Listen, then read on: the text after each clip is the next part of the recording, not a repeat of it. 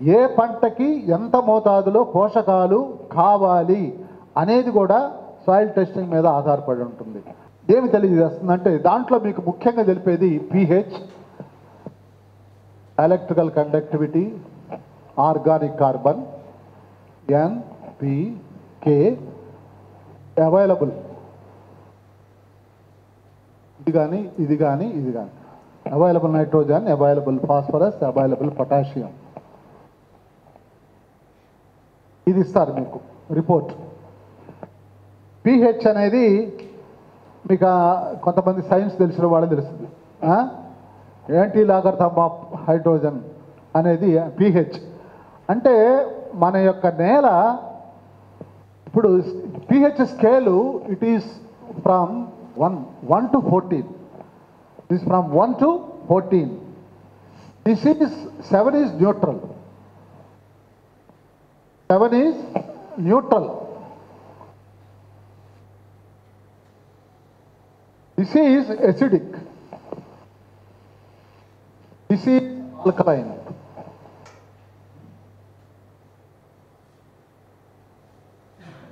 అర్థమైందా? ఆ scale pH scale అనేది ఏ ఎట్లా ఉంది మీ భూమి అనేది ఎసిడిక్ ఎసిడిక్ రూపంలో ఉందా? ఆల్కలైన్ రూపంలో ఉందా? లేకపోతే neutral. More or less all soils are neutral it varies from seven to eight all field crops all field crops there pH real nearly varies it varies it's not exactly seven or eight but it varies from seven to eight అంతవరకు అవకాశం ఉంది. Electrical conductivity అనేది soluble salts తెలియజేస్తుంది. నీటిలో కరిగిన లవణాల శాతం ఎంత ఉన్నది అనేది ఈసీ ద్వారా తెలుసుకుంటారు. ఎలక్ట్రికల్ కండక్టివిటీ ద్వారా. ఓసీ ద్వారా organic carbon. This is more important ఏ ప్రక్రియ అయినా భూమిలో మీరు చేసే అది న్యాచురల్ ఫార్మింగ్ కానీ ఆర్గానిక్ ఫార్మింగ్ కానీ కన్వెన్షనల్ ఫార్మింగ్ కానీ ఏది చేసినా మీకు ఆర్గానిక్ కార్బన్ పర్సెంటేజ్ కనుక point zero point five percent కంటే ఎక్కువ ఉంటే ఉండాలి ఎప్పుడు కూడా. దానికంటే పెరగాలి ఇంకా. వన్ పర్సెంట్ కూడా ఉండొచ్చు. ఏ ఇది పెంచేదానికి మనం చేసే ప్రక్రియలను తోడ్పడాలి. అది మీరు ఈ ఆర్గానిక్ కార్బన్ పరీక్ష వచ్చిన తర్వాత దాన్ని బట్టి మనం ఆర్గానిక్ కార్బన్ పెరగాలంటే ఏం చేయాలి? మామూలు ఎరువులు వేస్తే పని రావు. Conventional fertilizers or fertilizers doesn't improve organic carbon only organic manures will improve the organic carbon అవి ఆర్గానిక్ ఫార్మ్ యాడ్ మెన్యూర్ కావచ్చు పౌల్ట్రీ మెన్యూర్ కావచ్చు షీప్ మెన్యూర్ కావచ్చు పిగ్ మెన్యూర్ కావచ్చు గ్రీన్ మెన్యూర్ కావచ్చు. లేకపోతే ఇంకా oil cakes they also improve some organic carbon. ఎందుకంటే వాటిలో కార్బనం శాతం ఎక్కువ ఉంటుంది కాబట్టి. మనలో కూడా కర్బనం ఉంది. మనం తగలేస్తే పోయేదంతా కర్బనమే గ్యాస్ రూపంలోనే వెళ్ళేది. అంటే కర్బన శాతం ఉన్నప్పుడు దాన్ని ఆర్గానిక్ అంటారు. లేని దాన్ని all in all fertilizers are inorganic in nature. All fertilizers are inorganic in nature. All manures are organic in nature. దాంట్లో కర్బనం ఉంటుంది. కాబట్టి దాన్ని ఆర్గానిక్ అన్నారు. చదువుతుంటారు చదువుతున్నారు కదా ఆర్గానిక్ కెమిస్ట్రీ అని ఇన్ఆర్గానిక్ కెమిస్ట్రీ అని చదువుతారు కదా దాంట్లో కూడా అదే చెప్తాం. కర్బన్ ఎక్కడైతే ఇన్వాల్వ్ అవుతుందో అక్కడైతే ఆర్గానిక్ అవుతుంది. తర్వాత మీకు నత్రజని ఎంత ఉన్నది భాస్వరం ఎంత ఉంది పొటాషియం ఎంత ఉన్నది అనేది కూడా తెలుస్తుంది మీకు. తెలిసినప్పుడు మీకు దీని మోతాదును బట్టి ఎంత ఎరువు వేయాలి? ఆ పంటకి ఎంత భాస్వరం వేయాలి? ఎంత పొటాషియం సప్లై చేయాలి మీరు? By additions. ఎంత అనేది మీకు అవగాహన వస్తుంది. ఇంకో విషయం దీంట్లో రెండు నిమిషాలు పూర్తి చేస్తాను ఇంకా. ఈ అవైలబుల్ నైట్రోజన్ అనేది మీరు ఎరువులు వేసిన అనుకోండి. ఇప్పుడు జరుగుతుంది కన్వెన్షనల్ ఫార్మింగ్ ఎక్కువ జరుగుతుంది. వేసిన ఎరువులో దాదాపు seventy percent nitrogen is lost urea వేశారనుకోండి యూరియాలో అది ఎమైడ్ ఫారంలో ఉంటుంది. మీకు తెలుసా లేదు. అంటే తెక్కన ఫెట్ యూరియా ఒక్కటే నత్రజని ఎరువుల్లో ఆర్గాన్ ఎమైడ్ ఫారంలో ఉండేది. తెక్కనివన్నీ మామూలుగానే ఉంటాయి. ఈ సెవెంటీ పర్సెంట్ నైట్రోజన్ లాస్ట్ అయితే మొక్కకు మిగిలేది థర్టీ ఈ సెవెంటీ పర్సెంట్ కూడా మీకు by percolation by drainage or by denitrification. Losses of N అంటారు దాన్ని. డీనైట్రిఫికేషన్ ఆవిరైపోవచ్చు. మీరు వేసిన ఎరువు నీళ్ళలో కరిగి భూమిలో కిందకి వెళ్ళిపోవచ్చు అంటే beyond the root zone of the plant it is not available beyond the root zone of the plant పోతే మనకి ఆ మొక్కకు అందుబాటులో రాదు. మొక్కకి వేరు పదిహేను సెంటీమీటర్ల వరకే ఉంటుంది అనుకోండి. పదిహేను సెంటీమీటర్ల లోపు ఉన్న పోషకాలనే అది గ్రహించగలుగుతుంది. లోపలగా పోయింది అది గ్రహించలేదు. దానికి శక్తి చాలు అందువల్ల ఎక్కువగా లాస్ అవ్వటానికి అవసరం ఉంటుంది. అందుకని దీన్ని అరికట్టడానికి మనం వేసిన ఎరువు అంత త్వరగా మెల్లగా అందటానికి. ఒకసారి వేసామనుకోండి ఇతని ఫార్టీ డేస్లో ఒక వీక్లో అయిపోతుంది.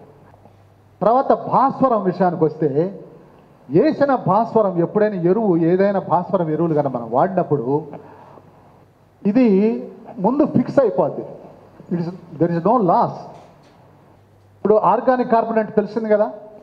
అది మనకి భూమిలో నీరు నిల్వయించుకునే శక్తిని కానీ పోషకాలను నిల్వయించుకునే శక్తిని కానీ పెంచే గుణం కలదు అది పెంచుతుంది అనమాట అంటే that is clay like just like clay like అందువల్ల మనకి ఎక్కువ నీరు పోషకాలు కానీ భూమిలో ఆర్గానిక్ మ్యాటర్ పెంచే కొంది పెరిగే కొంది భూమిలో పోషకాలు నిల్వహించుకునే శక్తి కానీ నీటి పరిమాణం కానీ వాటర్ హోల్డింగ్ కెపాసిటీ అంటారు ఇంగ్లీష్లో డబ్ల్యూహెచ్సి అది కానీ పెరిగేదానికి అవకాశం ఉంటుంది.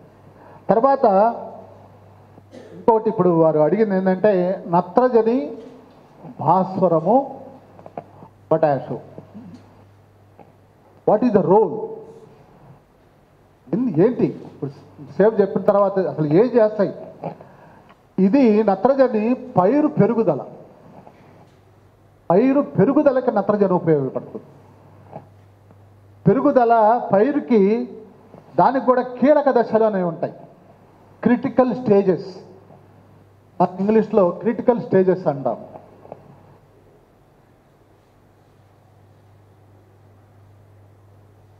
క్రిటికల్ స్టేజెస్ అంటే ఆ దశలో దానికి ఎక్కువ పరిమాణంలో తప్పనిసరిగా ఆ నత్రజ అనేది కావాలి. అంతే కదా? మనకి దశలు ఉన్నాయి. బాల్య దశ యవ్వనం క్రౌమార్యం వార్ధక్యం. అంతే కదా? మనకి బాల్యంలో కావాల్సిన మోతాదు ఒక రకం యవ్వనంలో కావాల్సిన మోతాదు ఒక రకం క్రౌమార్యంలో ఒక రకం కావాల్సి ఉంటుంది. వార్ధక్యంలో పెద్దగా అవసరం ఉండకపోవచ్చు. అట్లనే పైరు పెరిగేటప్పుడు కూడా దానికి కూడా కొంత క్రిటికల్ స్టేజెస్ అని ఉంటాయి. ఫర్ ఎగ్జాంపుల్ ఎరు వరి తీసుకుందాం. For example rice. దీని క్రిటికల్ స్టేజెస్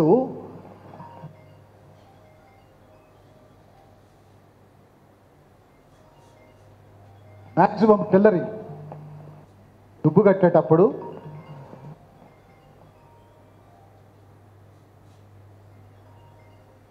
ప్యానికల్ ఇనిషియేషన్ ఒకటి basal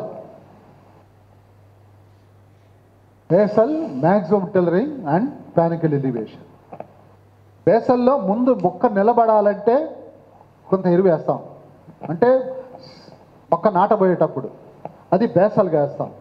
తర్వాత మ్యాక్సిమం టెల్లరింగ్ దుబ్బు కట్టుతుంది అంటారు. దుబ్బు కట్టడం అంటారు. బాగా దుబ్బు కట్టే స్టేజ్ ఒకటి ఉంటుంది. ఆ టైంలో వేయాలి. ప్యానికల్ ఇనిషియేషన్ జస్ట్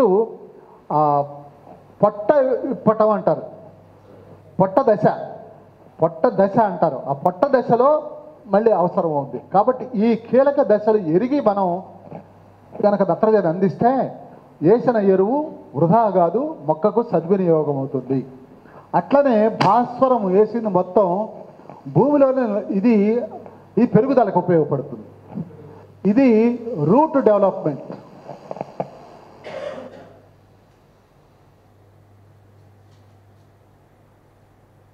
భాస్వరము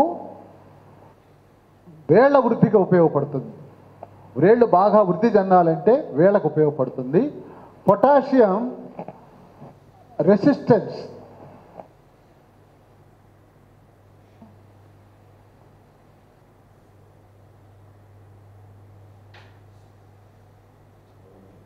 రోగ నిరోధక శక్తి తెలుగులో అంటాము. Resistance to pest and diseases ఈ పాత్ర ఇది ఈ మ్యాక్రో న్యూట్రియంట్స్ అంటాం వీటిని. ఇన్ని న్యూట్రియంట్స్ ఉన్నాయి? దాదాపు మొక్కకు పదహారు న్యూట్రియంట్స్ కావాలి. పదహారులో ఈ మ్యాక్రో అన్నాము ఎందుకన్నాము మ్యాక్రో అని? ఎందుకన్నాము? Because they requirement is more because they requirement is more then ఇంకొకటి ఏమొస్తుందంటే మైక్రో న్యూట్రియంట్స్ మైక్రో కొద్ది మోతాదులో కావాలి? అవేవి మన elements like zinc iron manganese boron ఇవి అన్నమాట ఇవి తక్కువ మోతాదులో కావాలి. దీని ఎంత మోతాదులో అవసరం లే. తొక్కిన తక్కువ మోతాదులో కావాలా. ఇంకొకటి ఉన్నాయంటే secondary nutrients calcium magnesium sodium ఇవన్నీ. ఇవి సెకండరీ ప్రైమరీ సెకండరీ టెరిషియరీ అని మూడు భాగాలు చేసుకోవచ్చు. లేకపోతే మ్యాక్రో సెకండరీ మైక్రో ఈ విధంగా మనం క్లాసిఫై చేసుకోవచ్చు. ఎన్ని based on their requirement of a crop దాని యొక్క రిక్వైర్మెంట్ని బట్టి దాని యొక్క అవసరాలను బట్టి దానికి కావాల్సిన మోతాదును బట్టి నిర్ణయించినవి కానీ దాని యొక్క సైజును బట్టి కాదు. వాటి యొక్క సైజును బట్టి కాదు. వాటి క్రాప్ రిక్వైర్మెంట్ బట్టి వాటి క్లాసిఫై చేశాం మనం. మొక్కకి నత్రజని డెఫిషియన్సీ వచ్చింది. మొక్క పెరగటం లేదు. అనేది మనకి అర్థం కావాలంటే మనకేంటంటే crop will be yellow in colour మొక్క ఎల్లో కలర్లో ఉంటుంది. ఏదైనా కానీ ఎల్లో కలర్లో ఉంటుంది. అంటే పత్రహరితము క్లోరోఫిల్ అంటాం కదా ఆ క్లోరోఫిల్ అనేది కనపడదు మనకి. అది లేనప్పుడు ఎల్లో ఉన్నప్పుడు we can go for foliar application of urea any nitrogenous fertiliser foliar application of one percent urea దాని ప్రకారం మనం చేస్తాం. ఫోలియర్ న్యూట్రిషన్ ఇప్పుడు మనకి ఇంట్రావెనస్ ఇంట్రామస్కులర్ ఇంజెక్షన్ చేయటం లేదా? అట్లనే వాటికి కూడా ఏంటంటే వేసలుగా కాకుండా దాన్ని క్రాప్ సైకిల్ పూర్తి చేసుకోవడానికి దానికి అడ్డంకిగా ఉంది కాబట్టి ఆ అడ్డంకిని తగ్గించేదానికి మనం ఫోలియర్ న్యూట్రిషన్ రికమెండ్ చేస్తాను. ఫ్లోరియర్ చేసినప్పుడు ఏంటంటే దాంట్లో స్టొమాటా ఉంటుంది. ఆకుల్లో స్టొమాటా అని ఉంటుంది. ఆ స్టొమాటా ద్వారా ఆ లోపలికి వెళ్ళి దాని యొక్క డెఫిషియన్సీని కరెక్ట్ చేసుకుంటుంది. అది నత్రజని. తర్వాత భాస్వరం వచ్చేటప్పటికి ఇది పర్పుల్ కలర్. పర్పుల్. ఆకులు వీణలు కాస్త పర్పుల్ కలర్లోకి వస్తాయి. అది గ్రహించి మనం భాస్వరం మోతాదుని అట్లానా తెచ్చుకోవచ్చు అలానే పొటాషియం డెఫిషియన్సీ ఎక్కడ వస్తుందంటే ఆకులు ఈనెల్లో చివరి భాగాలు.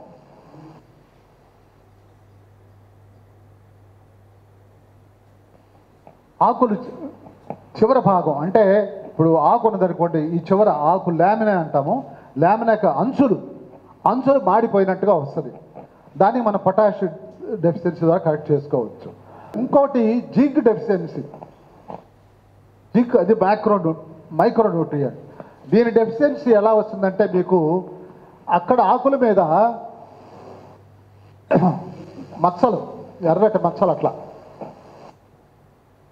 బట్ వీన్ రిమైన్ ద ఈ ఇట్లా అంటే తుప్పు మచ్చల్లా కనపడతాయి.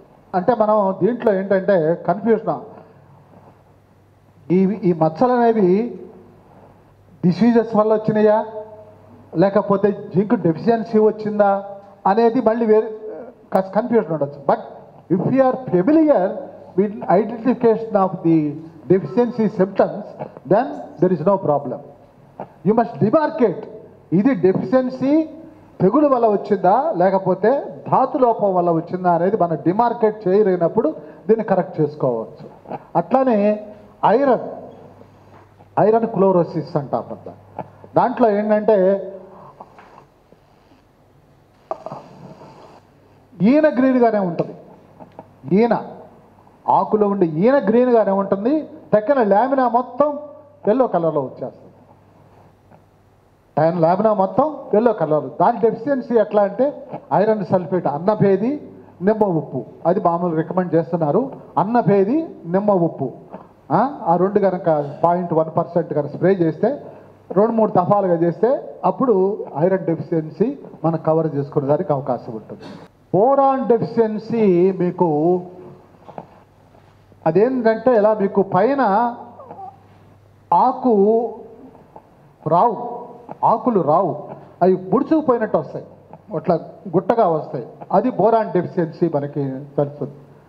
అంటే ఆకులు ముడుచుకోకుండా ఇంకో విషయం మీకు చెప్పాల్సింది ఆల్ డెఫిషియన్సీస్ ఆఫ్ నత్రజని భాస్వరం potash they appear in the bolder leaves bolder leaves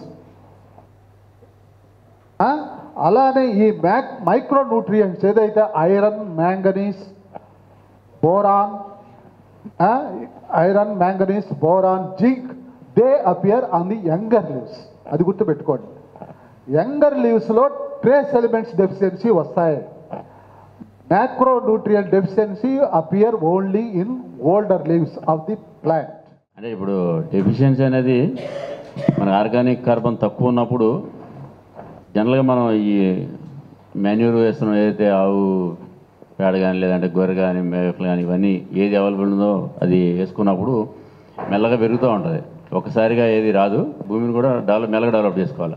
అంతేగాని మనం యూరియానో లేదా వేరే ఏదో వేయటానికి కాదు. సార్ ఎంతకైనా ఏం చెప్పాడు? దాని ఎగ్జాంపుల్ చెప్పాడు. దేనికి ఏ డెఫిషియన్సీ ఏది వస్తుంది అనేది మనం అందుకని క్లారిటీ కోసం. నత్రజని అంటే ఏంది? భాస్వరం అంటే ఏంది? పొటాషియం అనేది మీకు తెలియడానికి నేను సార్తో చెప్పించా. అది. అంటే మీకు సాయిల్ టెస్ట్లు అవన్నీ వస్తాయి. మనం ఏ పంటకి ఏది అనేది మన పాలేకర్ గారి మెథడ్లు మొత్తం దేనికైనా జీవామృతమే వాడమంటారు. అది కొద్దిగా స్లోగా అవుతుంది ఇప్పుడు రైతుకి ఏంటంటే ఫాస్ట్గా మనకి కావాలా అనేది ఉంటారు కాబట్టి ఇంకొద్దిగా బయో ఫర్టిలైజర్స్ అవన్నీ యాడ్ చేస్తూ ఉంటారు అనమాట ఎందుకంటే ముందు మన ఆవు మూత్రం పేడ జీవామృతం ఇది- వెళ్తే కనుక మనకి మెల్లమెల్లగా మీకు ఇది అలవాటు అయితే అది కావాల్సినప్పుడు బయో ఫర్టిలైజర్స్ అయినా వాడుకోవచ్చు. ఆర్గానిక్ ఫార్మింగ్లో అయినా వాడుకోవచ్చు. న్యాచురల్ ఫార్మింగ్ అయితే ఇవన్నీ వాడాల్సిన అవసరం లేదు. ఈ వీడియో మీకు నచ్చితే లైక్ చేయండి ఇతరులకు షేర్ చేయండి. వీడియోపై మీ అభిప్రాయాన్ని కామెంట్ రూపంలో తెలపండి. మరిన్ని వ్యవసాయ వీడియోల కోసం రైతు నేస్తం యూట్యూబ్ ఛానల్ని సబ్స్క్రైబ్ చేయండి. పక్కనే ఉన్న గంట సింబల్ నొక్కి నోటిఫికేషన్స్ ద్వారా తాజా వీడియోల సమాచారం పొందండి.